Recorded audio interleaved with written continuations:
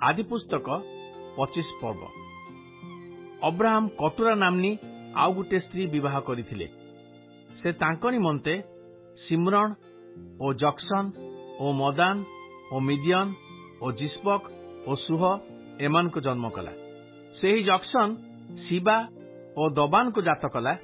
ଦଦାନ ଅସୁରୀୟ ଓ ଉଟୁସିୟ ଓ ଲିୟମୀୟ ଲୋକମାନଙ୍କର ଆଦି ପୁରୁଷ ସନ୍ତାନ ଐଫା ଓ ଏଫର ଓ ହନକ ଓ ଅବିଦ ଓ କଲଦିଆ। ଏ ସମସ୍ତେ କଟୁରାର ସନ୍ତାନ। ଅନନ୍ତର ଅବ୍ରାହମ ଇସାକକୁ ଆପଣାର ସର୍ବସ୍ୱ ଦେଲେ। ମାତ୍ର ଅବ୍ରାହମ ଉପପତ୍ନୀମାନଙ୍କର ସନ୍ତାନଗଣକୁ କିଛି କିଛି ଦେଇ ଆପଣା ଜୀବଦ୍ଦଶାରେ ଇସାକ ନିକଟରୁ ସେମାନଙ୍କୁ ପୂର୍ବ ଦିଗସ୍ଥ ଦେଶରେ ରହିବାକୁ ବିଦାୟ କଲେ। ଅବ୍ରାହମଙ୍କର ଆୟୁର ପରିମାଣ ଶହେ ପଞ୍ଚସ୍ତରୀ ବର୍ଷ ସେ ଏତେ ବର୍ଷ ପର୍ଯ୍ୟନ୍ତ ଜୀବତ ଥିଲେ। ଅନନ୍ତର ଅବ୍ରାହମ ଉତ୍ତମ ବୃଦ୍ଧାବସ୍ଥାରେ ବୃଦ୍ଧ ଓ ପୂର୍ଣ୍ଣାୟୁ ହୋଇ ପ୍ରାଣତ୍ୟାଗ କଲେ ଆଉ ଆପଣା ଲୋକମାନଙ୍କ ନିକଟରେ ସଂଗୃହୀତ ହେଲେ। ଆଉ ତାଙ୍କର ପୁତ୍ର ଇସାକ ଓ ଇସ୍ମାଏଲ ମମ୍ରିର ସମ୍ମୁଖରେ ହେତୀୟ ସୋହରର ପୁତ୍ର ଇଫ୍ରଣର କ୍ଷେତ୍ରସ୍ଥିତ ମକ୍ପେଲା ନାମକ ଗୁହାରେ ତାଙ୍କୁ କବର ଦେଲେ। ଯେହେତୁ ଅବ୍ରାହମ ହେତୀୟ ସନ୍ତାନମାନଙ୍କ ନିକଟରୁ ସେହି କ୍ଷେତ୍ର କ୍ରୟ କରିଥିଲେ।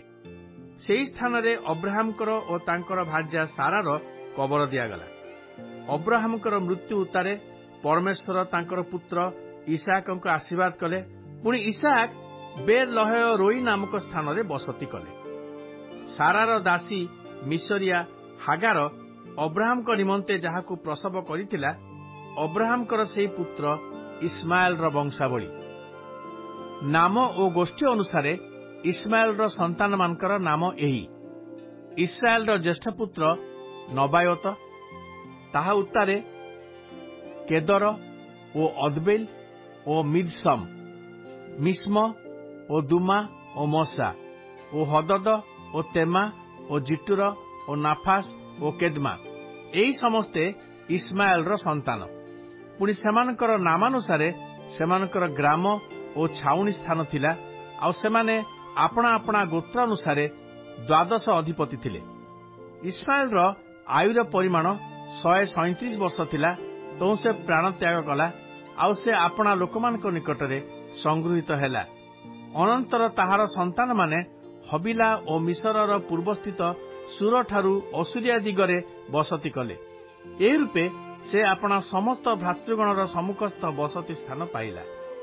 ଅବ୍ରାହମଙ୍କର ପୁତ୍ର ଇସାହାକାଙ୍କର ବଂଶାବଳୀ ଅବ୍ରାହମ ଇସାହାକଙ୍କୁ ଜାତ କଲେ।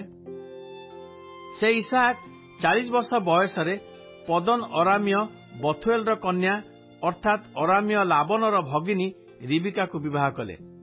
ଇସାହାକାଙ୍କର ସେହି ଭାର୍ଯ୍ୟା ବନ୍ଧ୍ୟା ହେବାରୁ ସେ ତାହା ନିମନ୍ତେ ସଦାପ୍ରଭୁଙ୍କ ନିକଟରେ ପ୍ରାର୍ଥନା କଲେ ତହିଁରେ ସଦାପ୍ରଭୁ ତାଙ୍କର ପ୍ରାର୍ଥନା ଶୁଣନ୍ତେ ତାଙ୍କର ଭାର୍ଯ୍ୟା ରିବିକା ଗର୍ଭବତୀ ହେଲା ଅନନ୍ତର ତାହାର ଗର୍ଭ ମଧ୍ୟରେ ଶିଶୁମାନେ ଛନ୍ଦାଛନ୍ଦି ହେବାରୁ ମୋହର ଏପରି କାହିଁକି ହେଲା ଏପରିକି ହୋଇଥାଏ ଏହା ଭାବି ସେ ସଦାପ୍ରଭୁଙ୍କ ନିକଟକୁ ପଚାରିବା ପାଇଁ ଗଲା।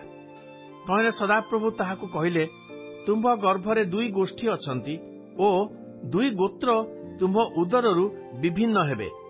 ଏକ ଗୋତ୍ର ଅନ୍ୟ ଗୋତ୍ରଠାରୁ ବଳବାନ ହେବ ପୁଣି ଜ୍ୟେଷ୍ଠ କନିଷ୍ଠର ସେବା କରିବ। ଅନନ୍ତର ପ୍ରସବ କାଳ ସମ୍ପୂର୍ଣ୍ଣ ହୁଅନ୍ତେ ତାହାର ଗର୍ଭରୁ ଜାଆଁଳା ପୁତ୍ର ଜନ୍ମିଲେ। ତାହାର ଜ୍ୟେଷ୍ଠ ରକ୍ତବର୍ଣ୍ଣ ଓ ସର୍ବାଙ୍ଗ ଲୋମସ ବସ୍ତ୍ର ପରିଥିଲା ଏହେତୁ ତାହାର ନାମ ଏସଉ ଅର୍ଥାତ୍ ଲୋମବ୍ୟାପ୍ତ ଦିଆଗଲା ତହିଁ ଉତ୍ତାରେ ଏସୋର ପାଦମୂଳ ଧରି ତାହାର ଭ୍ରାତା ଭୂମିଷ୍ଠ ହେଲା। ଏଣୁକରି ତାହାର ନାମ ଜାକୁବ ଅର୍ଥାତ୍ ପଦାପ୍ରହାରକ ଦିଆଗଲା। ଇସାକଙ୍କର ଷାଠିଏ ବର୍ଷ ବୟସରେ ଏହି ଜାଆଁଳା ପୁତ୍ର ଜାତ ହେଲେ। ଅନନ୍ତର ବାଳକମାନେ ବଢ଼ିଲା ଉତ୍ତାରେ ଏସ ମୃଗୟା ନିପୁଣ ଓ ବନବିହାରୀ ହେଲା। ପୁଣି ଜାକୁବ ମୃଦୁ ମନୁଷ୍ୟ ଓ ତମ୍ବୁବାସୀ ହେଲା। ଇସାହାକ ମୃଗୟା ମାଂସ ଅତି ସୁସ୍ୱାଦୁ ବୋଧ କରିବାରୁ ଏସକୁ ଭଲ ପାଇଲେ। ମାତ୍ର ରିବିକା ଜାକୁବକୁ ଭଲ ପାଇଲେ।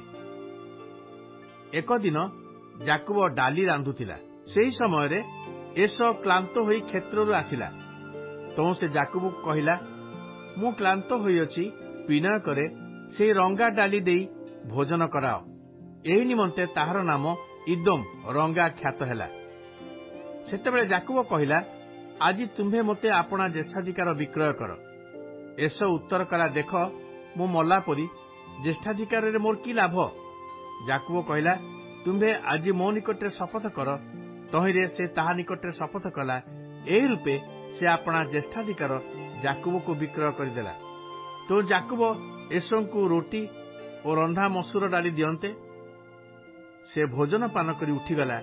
ଏହି ରୂପେ ଏସୋ ଆପଣା ଜ୍ୟେଷ୍ଠାଧିକାର ତୁଚ୍ଛ ଜ୍ଞାନ କଲା।